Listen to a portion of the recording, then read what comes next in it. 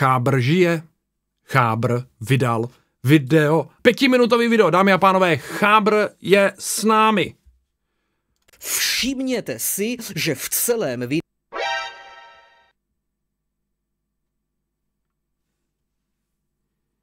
Chabr reaguje? Co to je? Jsme na kanále Cicera nebo jsme na kanále Chábra?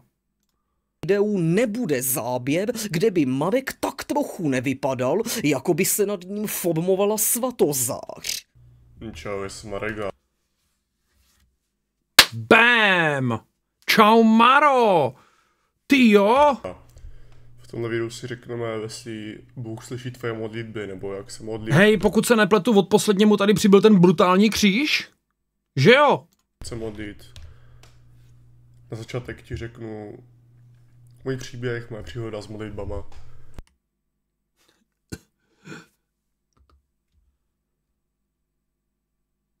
Ten výraz, to je lobotomie, je Chábr, ty jsi šel do sebe, ty jsi přešel ze self-improvementu, z no z kde jaké blbosti, přímo na víru. Bráško, pojď, která víra to je? Hele, jsou to svědci Jehovoví, nebo jsou to, vole, adventisté sedmého dne, nebo jsou to církev eh, Ježíše Krista? Bylo to asi rok zpátky, modlil jsem se k paní Marii a ona mi odpověděla Mhm. stylem, že jsem cítil mrazení po celém těle, ale jako víš, jak, když dostaneš lásku třeba řekněme od random holky, tak to cítíš v srdci. Když dostaneš lásku od random holky, tak to cítíš spíš trošku někde jinde, kámo. Já jsem to cítil po celém těle. Wow. Já bych s tím doporučoval navštívit psychinu. Jo, Řekla mi, ať myslím na Boha každou vteřinu a a prostě také ty věci, jo. A bylo to super. Jo, má tady Bibli, tady kříž jak noha, kdyby to chtěl vykrást, tak je tím umlátí, rozumíš? Takže to je asi, to mě motivovalo, jo, jsem malý družence a, a také ty věci. No, jinak mám ještě verše nějaké, jo, připravené. Ne. Třeba z jeden je z žalmu, mám ho tady hned potržený. Hej, ale tím chábem, tím pádem, tím chábrem, tím chábrem si chábr už jako ujasnil, že v Matoušovi není nic o odejmutí paže? Ujasnil jsi to už? Chábr? Dal jsi to dohromady? Uh, jestli, na tu tvoji otázku, jo, jestli slyší Bůh tvoje modlitby. Je to žalm 34, verš 16 až 18. Ano, Bůh je slyší, ale absolutně na ně nereaguje, protože kdyby vyslechl a pomohl každému paku, který se k němu modlí, tak nebude dělat nic jiného, ale Bůh má mnohem lepší věci na práci, než je pomáhat lidem, který stvořil a pak se na ně tak trochu vybodl, takže v pohodě, pojďme. Oči hospodinovi jsou obrácené k spravedlivým. Tak to jsem vyřízený. To jsem hotovej. To jsem, to jsem v... Když volají o pomoc, on nakloní své ucho. Hospodinova tvář se však obrácí proti pachatelům zla. Vymítí ze země Hej, chábr, ty ani neumíš číst pořádně, ty vole. Co chceš dělat na YouTube a co chceš vymýšlet, když ty ani neumíš pořádně číst, brácho? Ale jsem rád, že jsi zpátky, kamaráde. Jsem fakt rád, že jsi zpátky, protože lidi jako seš ty YouTube potřebuje. Potřebuje a potřebuje. každou památku po nich. Ty, kdo úpělí, hospodin slyšel. Ze všech soužení je vysvobodil. Jsi svobodnej. Další. No, pokud jsi tomu někdo nerozuměl, je to úplně jedno, jo. Pokud tomu nerozuměli, je to úplně jedno, jo, protože já tomu rozumím a já jsem tvůj pastýř a ty si má ovce a já tě povedu všou, vší tou nepohodou až do nebe, až k vykoupení. A prostě řeknu ti další verš, jo. Nebudu zdržovat, prostě. Prostě pojď. Prostě, daj, Hej, prostě. Soustřed se, jo. Jo, Soustřed se. jo, já to stejně nepochopím. Prostě, takhle bych to řekl. Jasně. Další verše jsou... Tak počkej, jenom jakoby, nebo mě to řekneš úplně, hele, mohli bychom na přenos myšlenek, já věřím, a mohli bychom si povídat skrzevá éter. Jakub 4, verš 3. Prosíte sice, ale nedostáváte, protože prosíte nedobře. Vykřičník Dono, já si myslím, že prosím dobře, pojďte do toho čet. Jde vám o vaše vášně. jo, to prostě Mohl Hej, asi se nemáš v modlitbách modlit tak, jakože bože, prosím, ať mi ta pěkná sousedka konečně vyblafne. Víš ne? bych číst dál, mohl bych to přečíst celý Jakubův list. Je to strašně dobré, zkus si ho přečíst, jo, a to je jenom Četl jsem to několikrát a nějak mě to úplně nenadchlo, furt jsem ateista. pět kapitol, jo. Nic extra, je Čtyřlistek je furt zábavnější, sorry. to prostě krátké. Je to fakt dobré na to, jak málo toho, jako málo stranek obsahuje. Můžu tady číst jako polovinu Bible o modlitbách, ale Ne, to nedělej, protože by si zjistil, že si předtím mlel kraviny o různých obsazích Bible, vys Matouš 5.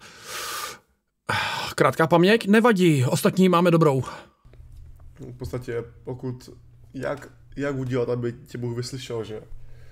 Tak mohli jsme číst v žalmech, že Bůh slyší modlitby spravedlivých, to znamená, že lidi, kteří prostě nekradou, jo, kteří nelžou, kteří dělají všechno jako poctivě a ne, nedělají takové ty věci, jako je například tahák pod stolem.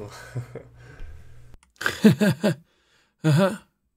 Uh, já jsem v životě tahák pod stolem neměl, ale to je v pohodě. Neříkám, že jsem perfektní nějaký, ale někdy se jim podaří být aspoň chvílku spravedlivý. Já jsem eh, se bavil s tvým spolužákem Chábra a teda jako no jak to říct no Chábr jsi dobrý, jsi dobrý borec, ale vymaž ten internet. Je to dobré. Taky Pavel píše v jednom v jeho listě, pokud máš čisté srdce, modlí se. A ten, kdo má čistou mysl, ať zpívá. Křesťanský kancionál, jo?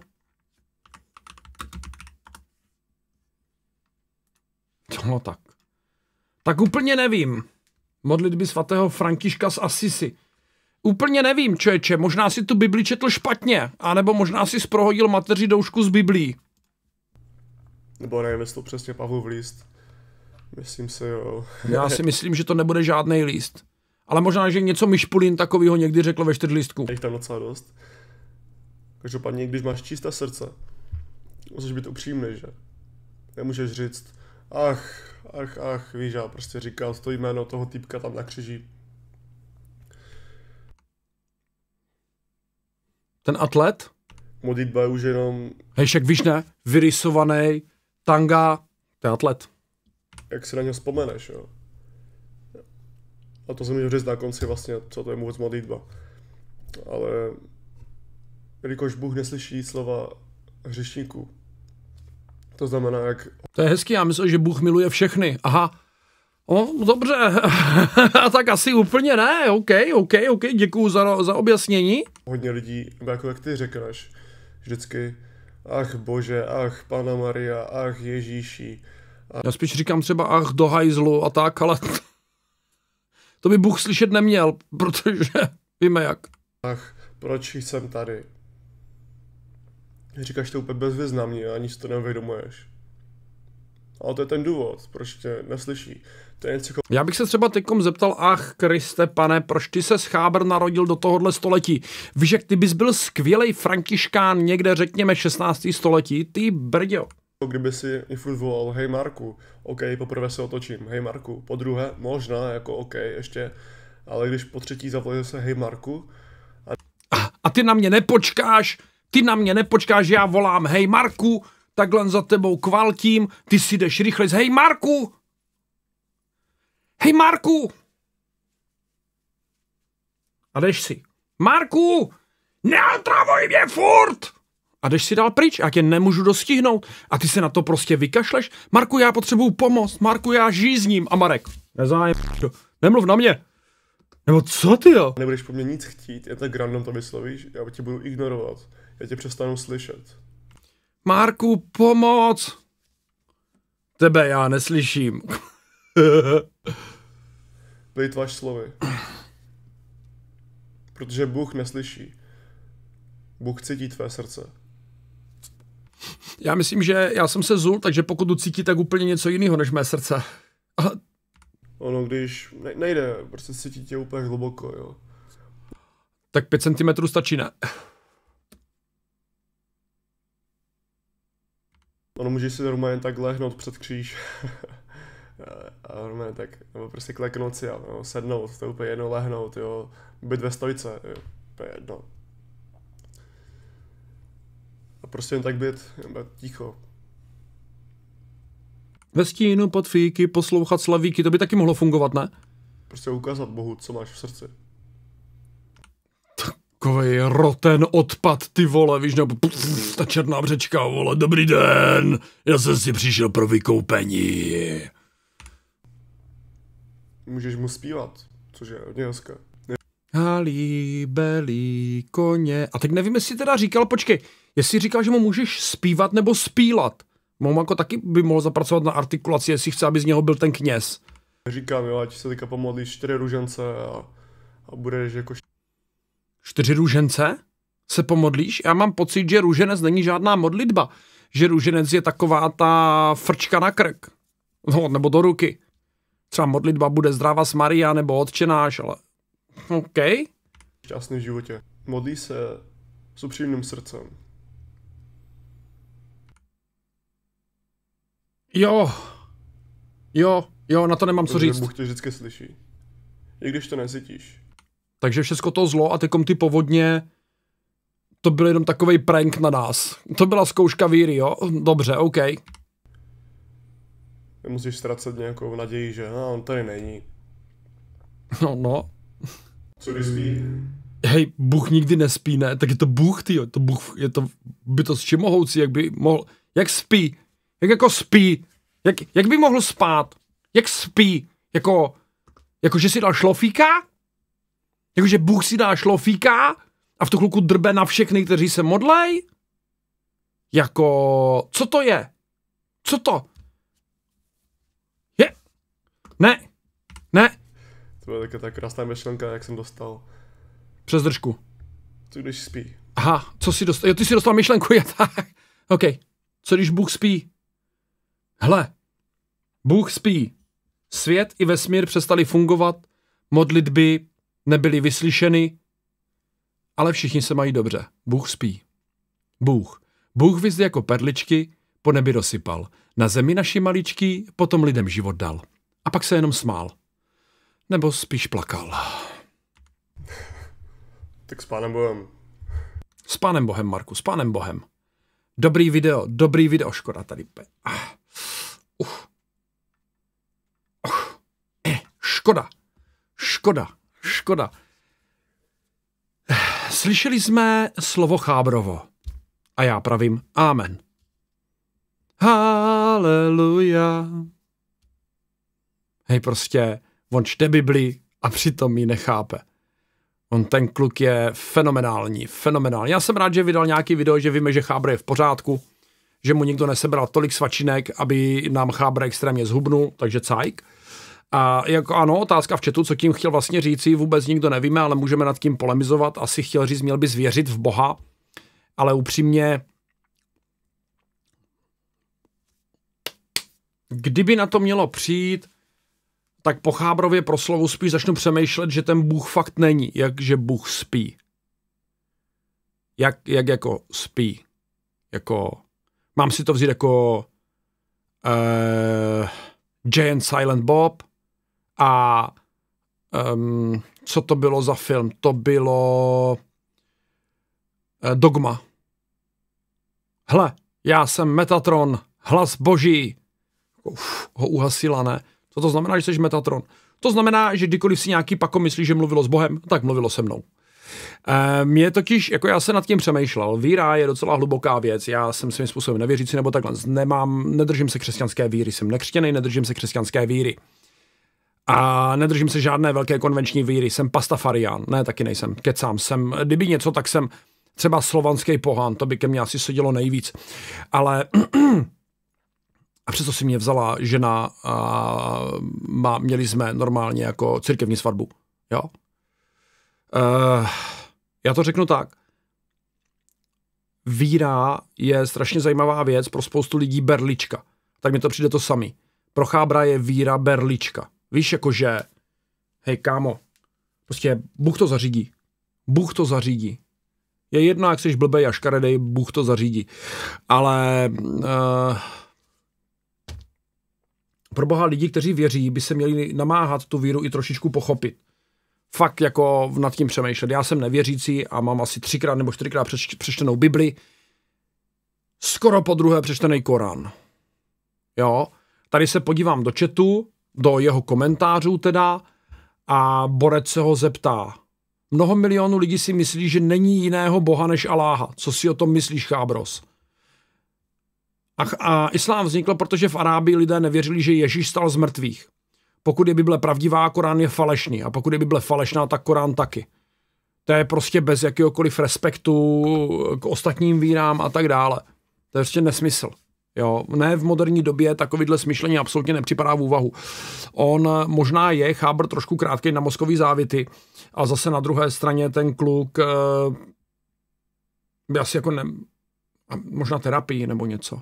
Jo. Víra je podle mě cokoliv jiného, než tady tenhle ten rádoby zapálený fanatismus, kdy ty děláš, že věříš, snažíš se okolí ukázat, že věříš, snažíš se ukázat všem, že věříš, ale o té víře víš úplně kulový. Úplně nic o ní nevíš. Bůh neposlouchá hříšníky. Bůh miluje všechny. To je psaný v Bibli. Bůh miluje všechny. A další věc, když jsem zmínil to dogma, tak když jsem nad tím přemýšlel víc do hloubky, tak jakýkoliv pravidla, který my si stanovíme na zemi, hříchy, odpustky, spovědi, víš, a všechny tyhle ty blbosti, jsou Bohu úplně na háku. Takže je jedno, kolikrát jdeš do kostela. To tě nespasí před tím pravým božím soudem.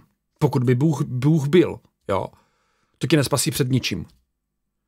To, že se vyspovídáš z hříchů a nějaký šašek v černém pyžamu ti řekne desetkrát odčenáš, patnáctkrát zdrávas a budeš zprostěn hříchu, neznamená, že to Boha zajímá, kolikrát jsi tam říkal nějakou básničku.